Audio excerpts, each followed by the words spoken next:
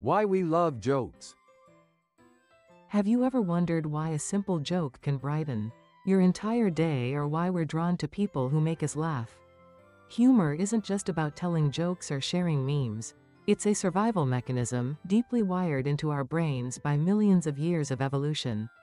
The evolutionary roots. Let's rewind time. Imagine early humans gathered around a fire. Life was dangerous predators, lurked, food was scarce, and trust was everything. In this world, humor wasn't just entertainment it was glue. Sharing laughter built bonds, eased tension, and signaled friendliness without fighting. By laughing together, our ancestors created stronger groups. And stronger groups meant better chances of survival. In short, humor was not a luxury. It was a survival tool. The brain at work. But what actually happens when we hear a joke?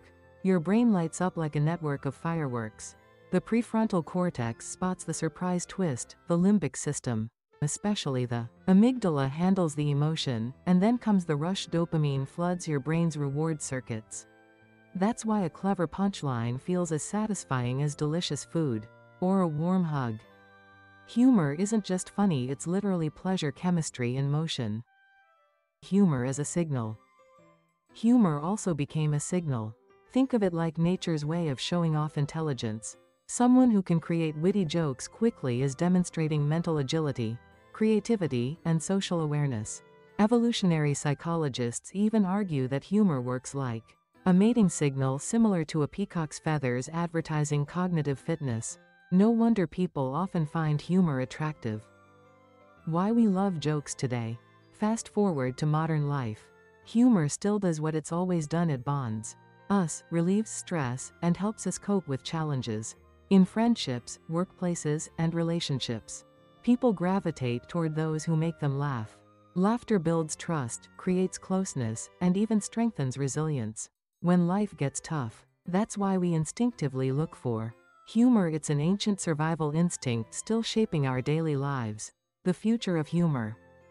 And in our digital age, humor is thriving. Memes, TikTok clips, stand up, Specials comedy has become the cultural glue of the online world. Yet, despite changing platforms, humor still serves the same timeless purpose as bonding. Signaling intelligence and helping us endure. So the next time you laugh at a silly meme or a sharp punchline, remember it's not just fun. It's evolution and biology at work. Humor is more than amusement it's what makes us human. What about you what role does humor play in your daily life?